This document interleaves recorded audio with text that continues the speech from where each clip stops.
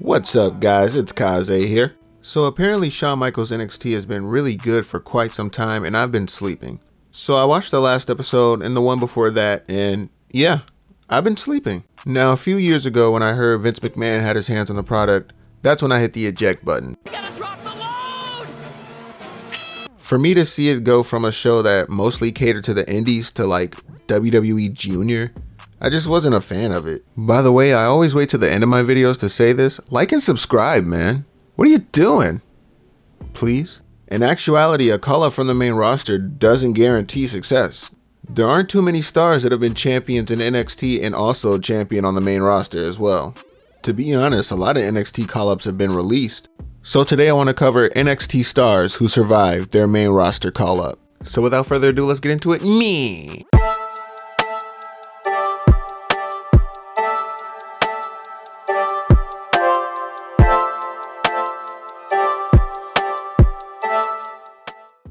Okay, so I wanted to start with the Shield just because it's the most obvious choice. Seth Rollins beat Jinder Mahal to become the first NXT champ. Dean Ambrose was essentially still Dean Ambrose. His character hadn't really changed too much until he went solo. Roman Reigns was Leakee up until he was repackaged in NXT as Roman Reigns.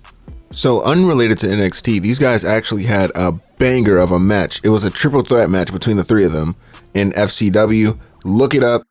It's so good. It's so good. But yeah, these guys became the Shield and they debuted in 2013 in a triple threat match against CM Punk, John Cena, and Ryback. From there, they kind of just ran rampant throughout WWE for the next year and a half. They ended up being undefeated for quite some time. Dean Ambrose won the United States Championship, and Seth Rollins and Roman Reigns ended up winning the Tag Team Championships, the iconic penny belts. So aside from this success, they went on to be even bigger stars after Seth Rollins turns on them both. You know the story.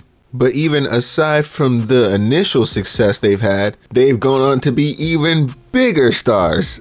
These guys are three of the top stars in the entire industry, and they've actually done it in their own specific ways. Like, Dean Ambrose went on to be Jon Moxley, and he put the entire company of AEW on his back, and he's represented it as well as anybody else could. Seth Rollins is the workhorse champion of WWE, and Roman Reigns is one of the biggest attractions of WWE right now. Truly one of NXT's greatest call ups of all time. Next on the list, I have the Four Horsewomen. Now, these women are the absolute staples of WWE's women's division. Now, this group is Charlotte Flair, Becky Lynch, Bayley, and Sasha Banks. And much like the Shield, three of them hit the main roster and they were kind of shot right into the top spot. However, Bayley gave us all a scare. Now, once Bayley was called out to the main roster, it was a bit difficult to get her I'm a hugger gimmick over. In fact, WWE outright buried it when she was kind of like refusing to get extreme with Alexa Bliss or whatever the hell that was and also the This Is Your Life segment. All just a culmination of a burial of that character. But Bayley did rise through all of that and ended up having a great heel gimmick where she was just a lot more of herself, but super obnoxious. And with her recent Royal Rumble win, I'm actually happy to say that she's going to get her WrestleMania moment. Becky Lynch has become the biggest star in the women's division, aside from maybe one other person. Sasha Banks went on to leave the company. There are hopes that she will be back, and I also think she'll be back, but right now she is rumored to be signed with AEW. And as of this recording, Charlotte is a 14 time women's champion. Though it may be a slightly watered down 14, it's still quite the impressive feat. Okay, so next I want to mention Sami Zayn. Sami Zayn was the heart and soul of NXT while he was there. He was the NXT People's Champ all the way up until he actually won the NXT Championship.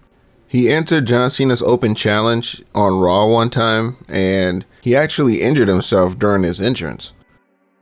This caused him to be out for a few months, but when he came back, he was ready for the main roster. He did a farewell tour in NXT. It wasn't an official farewell tour, but you know, he, he stuck around for a few more months before going up to the main roster. Now, his main roster run initially a little rocky just because I could tell they didn't really know where to put him and what to do with him, but he won the Intercontinental Championship.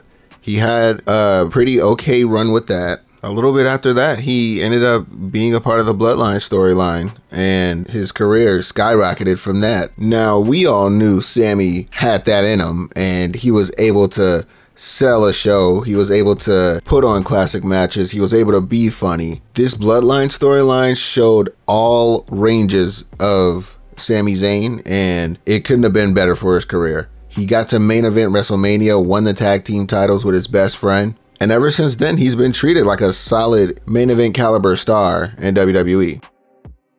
And this leads me to his aforementioned best friend, Kevin Owens. Now, Kevin Owens, much like Sami Zayn, also answered John Cena's open challenge on Raw. And he had another match with John Cena on, I believe, Battleground.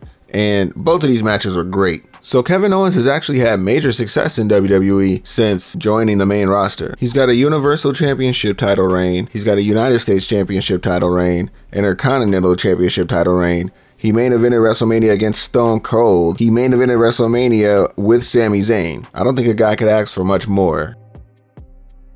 So next we have Alexa Bliss. So Alexa Bliss in NXT had gone through so many different transformations until she ended up being a manager for Blake and Murphy. Now, she has become one of the most successful women's wrestlers in WWE history. And the thing is, nobody could have saw this coming. She was the one that wasn't handpicked. She wasn't a part of the four horsewomen. She was like literally outside of that group, came in, and there was just no denying that she was one of the best performers on the mic and in the ring, period. Oh, perfection. Alexa Bliss went on to be a five time women's champion. She's been in all types of high profile matches, and she just welcomed her first child, so congratulations. Okay, next I want to talk about Bianca Belair, someone who also wasn't handpicked to be just a top star, but ended up being that because her gimmick is so good, it's so believable, and the way she uses her hair, like I've never seen any wrestler ever do that before. So that's just a good, unique thing about her. Right now, she's a three time women's champion and a definite staple in the game. Okay, so last on the list, we have Big E. So Big E was the one who actually beat Seth Rollins for the NXT Championship.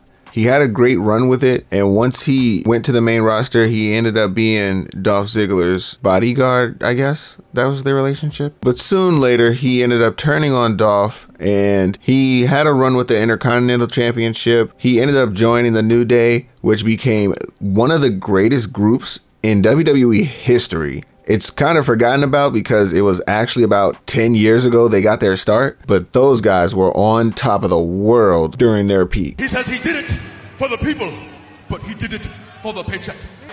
Got your ass! Big E ended up winning the Money in the Bank and cashing that in against Bobby Lashley. Unfortunately, much like Kofi's, his was ended by Brock Lesnar. And to my and many's disappointment, that was the last time we saw Big E with the WWE Championship. He ended up injuring his neck against Madcap Moss, one of those aforementioned NXT release superstars. And unfortunately, we haven't seen Big E in the ring since, and it's questionable if he'll ever be able to wrestle again. So, like I said, guys, just making it to the main roster isn't a guaranteed ticket to success, but at the same time, it is a great start for any superstar to make a name for themselves. That's it for this one. Again, like and subscribe, please. It really helps the channel out. If you made it this far, you might as well. You're liking it, you're enjoying it. Wear your seatbelts. Until next time, keep it koze.